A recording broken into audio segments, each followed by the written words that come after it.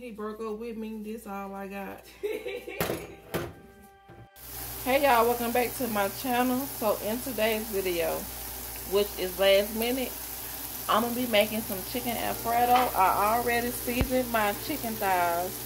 No, these are not chicken thighs. Chicken breasts. They were thinly sliced. I already seasoned them, cooked them, and I got my pot of boiling water over here. I'm going to add some salt to my water. Always add salt to your pasta water. It brings out the flavor more. Okay, y'all. Now I'm about to add my pasta to my boiling water. And the name of this pasta is Farfalle pasta. It's like it's like a bow tie pasta. I'm gonna show you guys in a second.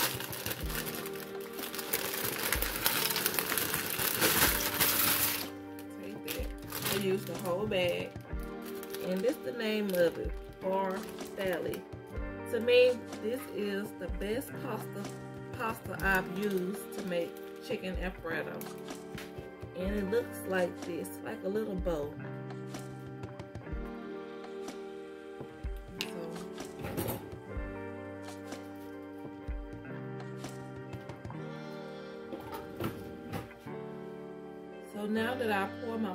Into the water, I'm gonna let it boil for about eight to 10 minutes. Okay, y'all, to this pasta, I'm gonna ha add half a pint of uh, uh, heavy whipping cream. Add that. Which I might need to get my other one. I don't think that's enough. I'm gonna add my chicken breast. So I went and got another half a pint. I don't think I'm gonna use all of it, which I've been um, using some already. I don't think I'm gonna use all of it.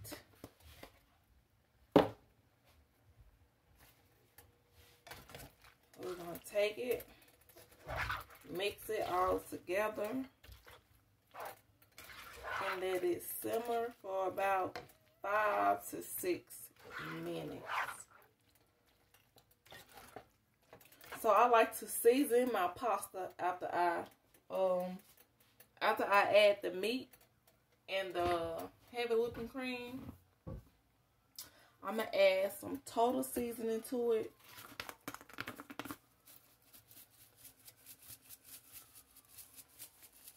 Total seasoning. I'm gonna add a pinch of salt.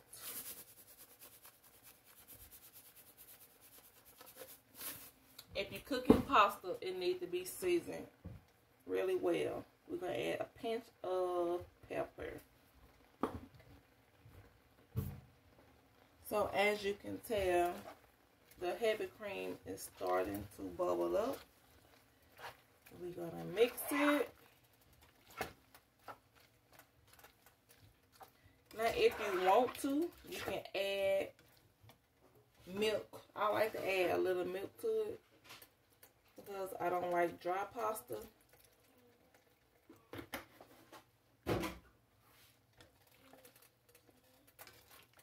So I'm going to mix it all together. So I'm going to let this cook for about five to six minutes. And I'll be back. Okay, so now I'm going to add some grated Parmesan cheese.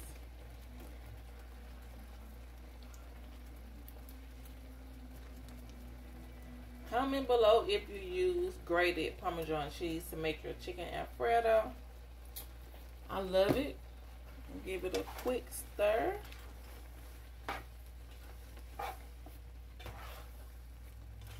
To me, the best way to make chicken Alfredo is from scratch instead of out the jar. This is what I prefer. I never buy the kind out the jar. Never.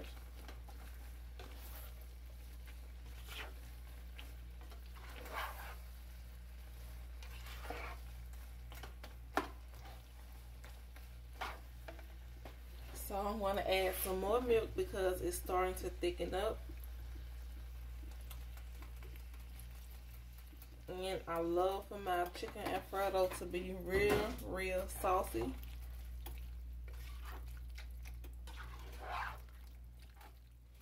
And trust me, milk doesn't take away the flavor.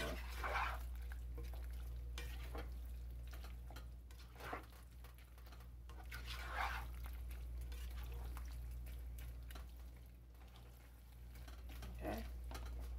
So now I'm going to add some more Parmesan cheese. The Parmesan cheese and garlic gives it that Alfredo taste. So you can't be stingy with the grated Parmesan cheese. Yeah, it smells so good in here and I haven't added the garlic yet.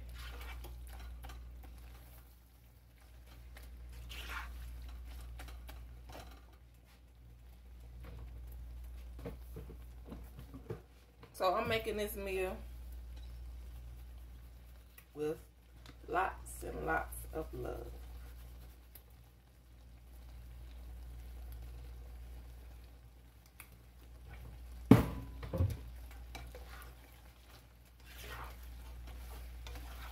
A nice Valentine Day meal. Quick, easy, not expensive at all. So I just added the garlic to it.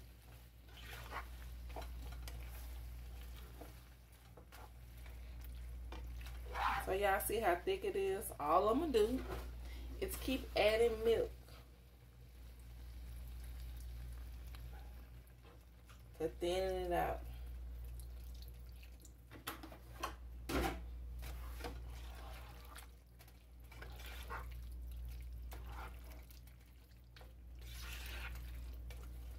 When you go to Olive Garden and places like that with pasta dishes, you end up paying about a good 12 bucks for a plate of chicken alfredo, if not more. And I paid $2.38 for a pack of thin um, chicken breast. I paid a dollar and nineteen cent for the pasta, and I paid um one eighty nine for the heavy whipping cream. I paid two two dollars and some change for the cheese. And this I feed about in my household about six people. So it's worth it. It's not expensive at all. Okay, now that I I mixed all that, I got some Italian style cheese that I'm gonna add in here. So we're just gonna use all of that. Pour it in there.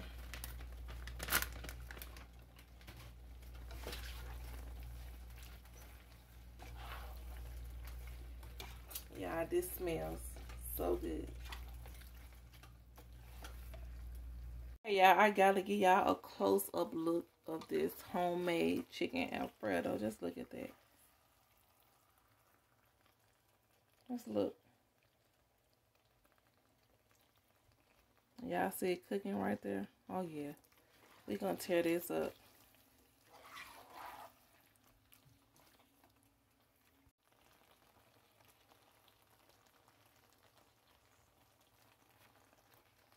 you watched my video yesterday, I did um, a grocery haul and I bought these Hawaiian rolls from Sam's Club. With these rolls, I'm about to make some garlic butter rolls, homemade. So, okay, y'all. So, I got my Hawaiian rolls in the pan. I got my garlic butter right here. I'm just to pour it, drizzle it on top. I probably overdid it, but oh well.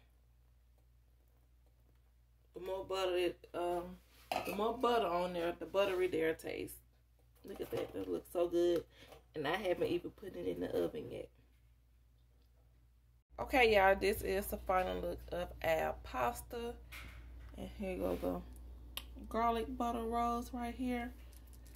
We're about to enjoy or try to enjoy our last Valentine's Day meal together. Don't forget to like, comment, and subscribe. And I'll see y'all on my next video. Bye, guys. Peace.